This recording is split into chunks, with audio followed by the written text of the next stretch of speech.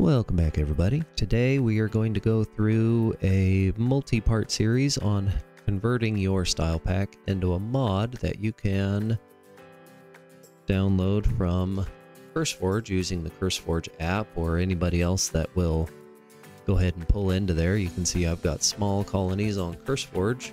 So that's uh, what I'm going to show you how to do. Let's go ahead and jump on into that with part one.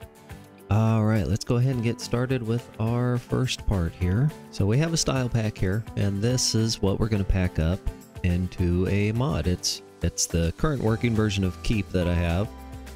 You have your pack file in here is all set up and ready to go. You can see it's Keep Keep made by me, Thaylar. All of our mod requirements. Now these are in addition to the standard mod requirements. I'm missing Domum Ornamentum here so we can add that in and save that. But otherwise, you can see we've got structurized Minecolonies and then the other requirements that I've got.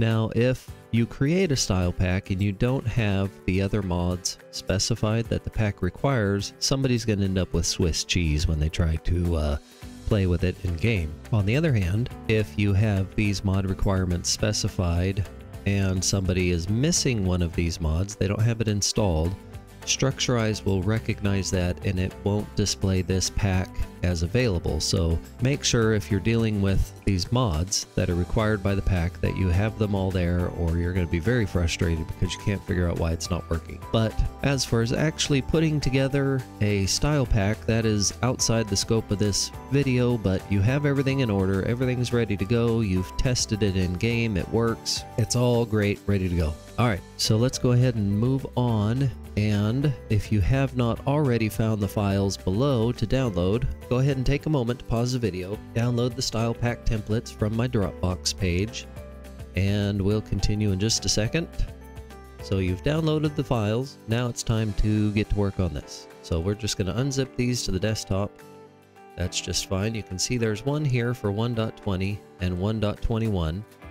And the only difference between these two files is whether or not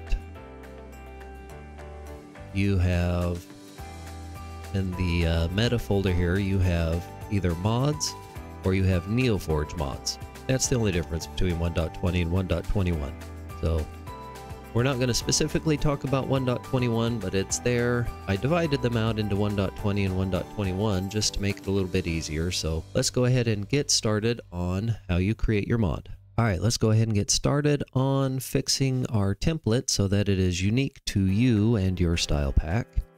First things first, you're going to want to update your logo.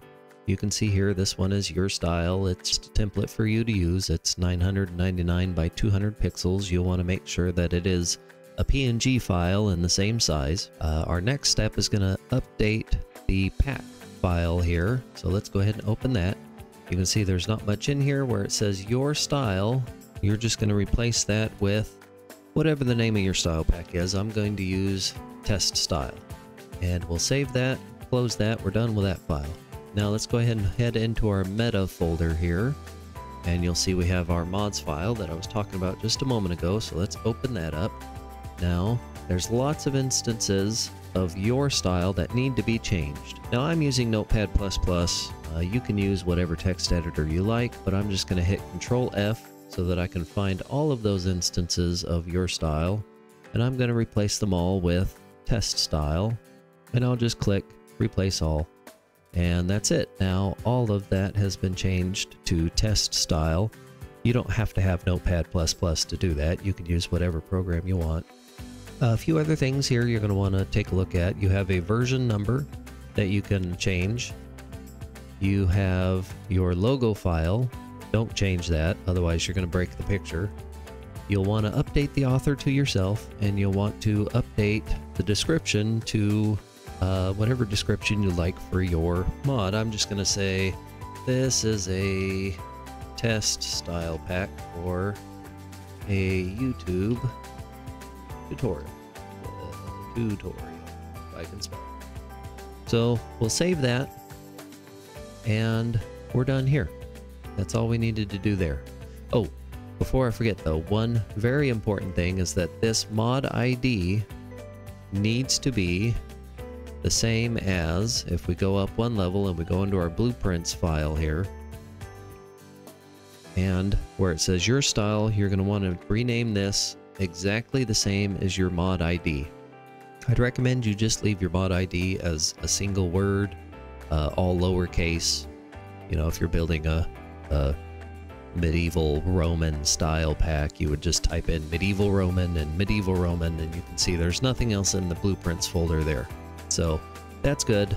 That's good to go. We can go ahead and close that. We're done with that. So all that's left now is to get our actual files into uh, our file structure here. So let's go into blueprints, go into whatever you named your style pack file name, folder name, and we're just going to drag our style pack into there. That's all we have to do. It's now in there. All of our files are in there. And that is it for that step of prepping our files to be turned into a mod. All right, now we can actually create our jar file that is the uh, Java archive file that the game is going to read and recognize as a mod. But first things first, in Windows 11, you need to come up here to View. If you don't already have this option set, we're going to go down to Show, and we're going to show file name extensions. So now you can see we have pack, mcmeta, logo.png, and uh, what we're going to do is we're just going to select all of these, right click, and we're going to put them in a zip file just compress to a zip file. I believe that's all standard options for Windows. And you can see we have blueprints.zip. So what we're going to do is rename this to test style, aka whatever your style name is. And the file extension we're going to change to .jar. We'll press enter, this little thing will pop up. Yes, I want to rename it, that's just fine. And that is it. You have now created a uh, mod file that Minecraft will load that Minecolonies and Structurize will recognize. So let's go ahead and playtest that real quick. Now to do that, first we need to get our jar file into the game. So you're just going to go to wherever your instances are installed. I'm using the CurseForge app, so I'll just go to my CurseForge installation. I'll go to instances. We're going to load this up in mcol mod pack because that's where I know all of the mods are installed that are going to be compatible with this style pack, which is Keep. We'll open our mods folder and we'll just drag this over here to that installation. We just installed our mod. So we'll be back in just a second in game. All right, you have followed all those steps so far. You've now loaded Minecraft. So here we are in game and real quick, I'm just going to go into the mods uh, menu here going to organize this from A to Z and we'll come down here and here is our test style. So that is where your logo is going to show up. This is where your mod name will be, your version number, your mod ID, which is test style. This is where the credits, you, you I didn't mention it, but you can update those credits. Author is going to be you, and this is where your description shows up. This is a test style pack for YouTube tutorial. Great. So that's it. Let's go ahead and open this up in game. And here we are in game. Let's go ahead and grab our build wand. We'll enter the build menu. We'll switch pack. There's our local files and then all the the uh, default Minecolonies styles. There's SmallColonies because that's installed earlier from the beginning of the video. And if we keep going, there's test style. So this shows up alphabetically. If your style pack, your mod happened to start with the letter B, you would be up at the top. But here is our version of Keep. Not terribly happy with the icon there yet, but here we go.